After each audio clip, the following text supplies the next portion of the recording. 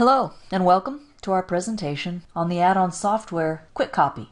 Add-on software Quick Copy is a component feature of the add-on software install and upgrade suite of utilities. And it is specifically geared to letting you quickly set up a complete clone of add-on software as installed in your BBJ home directory to some outside location. So it will pick up add-on software, the Barista application framework, including demo data, and install that in some other directory of your choice.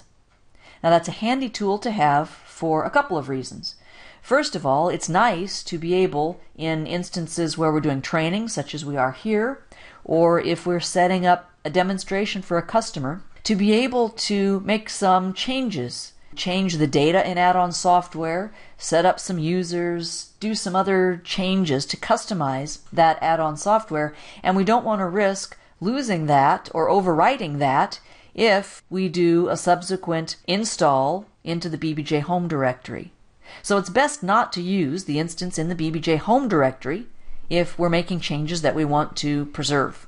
So this gives us a quick way to copy what we have there to an external location where we can customize it to our heart's content.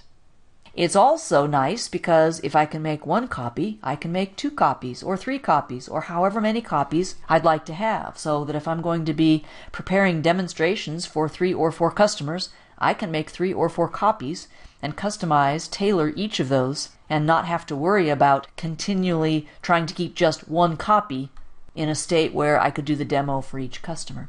There are some prerequisites. You need to have, of course, the latest Java JDK and the latest release version of add-on software. The quick copy feature was installed as of version 13.11, so we need 13.11 or later. And of course, after you installed, you need to make sure that everything is initially running. Make sure at least that the BBJ sysconsole launches successfully.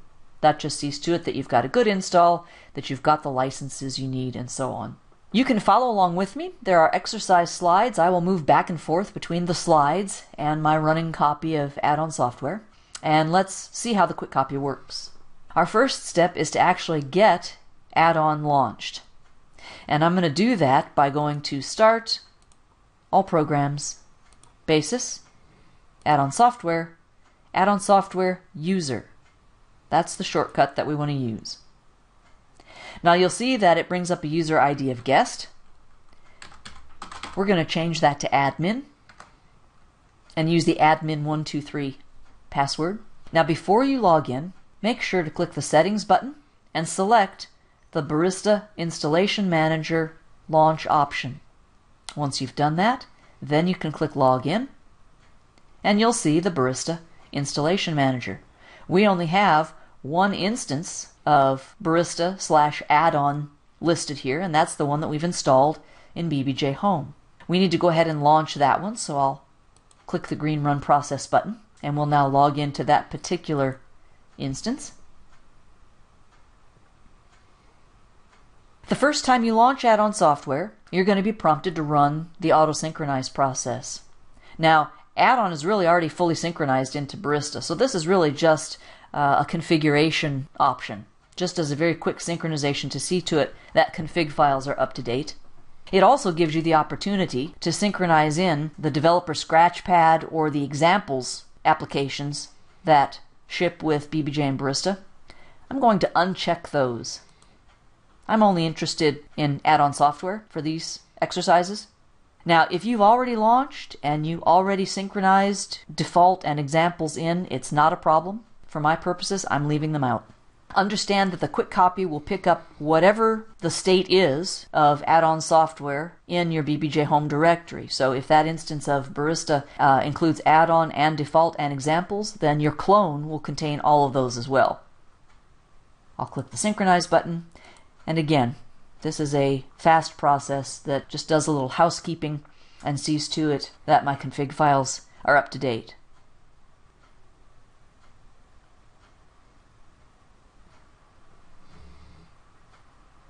Okay, this process is completed. So I'll click OK. I'm also going to dismiss this little informational message. This tells us that we're running in the download area. And we shouldn't be running here if we're actually doing serious production work or development work. So let's go on now and run the quick copy. I'm going to go back to the slides to make sure that we're following along here. We've run the initial autosync, and now we're going to go to Add-on Software Administration, Utilities, Install Upgrade Utilities, Install Wizard. There are only a few pieces of information that you need to provide. The first is a database name. I'm going to call this one AON QC1. And then a description. Why the number one? Because, as I said, I may set up quick copy one, two, three, four, or 5. So I'm using the number 1 just to distinguish. We need to find or create the parent directory where we want this clone to reside. So I'm browsing to my C drive. I haven't already set up a blank folder, so I'm going to do so now with the create new folder button. And I'm going to call this AON underscore QC1. Now when I hit the enter key, that new name is forwarded down here into the file name field. So I'll click the open button and that brings my newly created directory name back into my form. So that's all that I need to do. Make sure the quick copy install type is what you've selected. We'll learn more about the production install type in other classes, but we're interested in the quick copy here.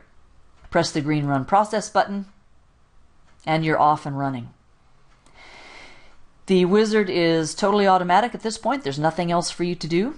It's going to do a physical copy of all of add-on software, including the Barista application framework, and examples and the scratchpad if they were included, if they were synchronized in to your download copy, and the demo data as well. All of that will be copied to your new location.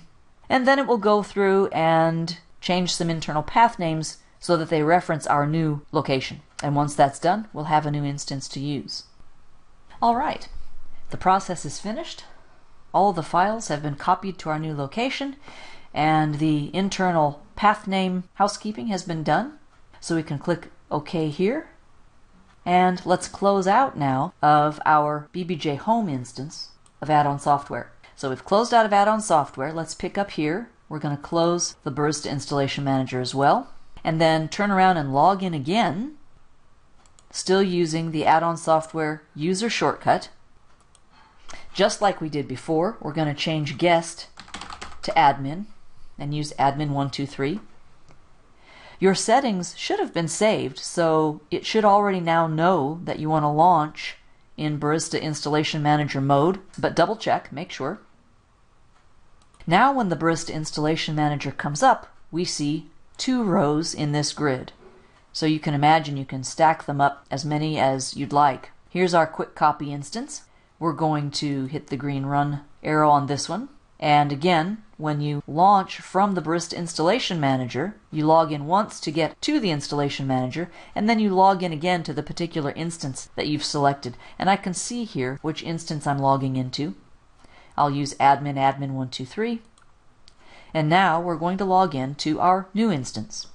Just like with the download version, the first time I launch here, I'll be expected to run the autosync. Now, because I left the developer scratchpad and examples behind, I didn't have them synced into my downloaded version, then they weren't copied up here either. So all that I have here to synchronize is add-on, and just like before, it'll be a very quick sync. It's really just cleaning up config file entries, making sure that they're all current and uh, contain our new parent location.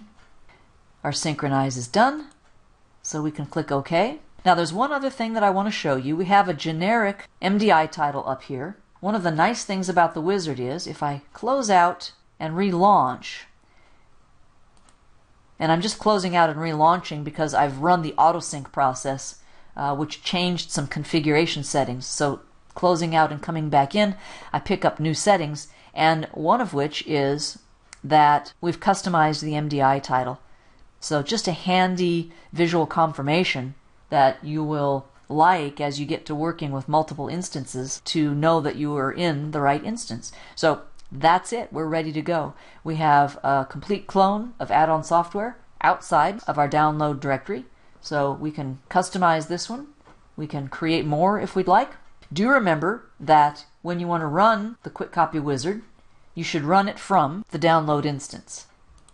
So if I want to make another copy, I'm going to launch my download instance and run it from there. That's it. If you have any questions, you can email us at training at basis.com.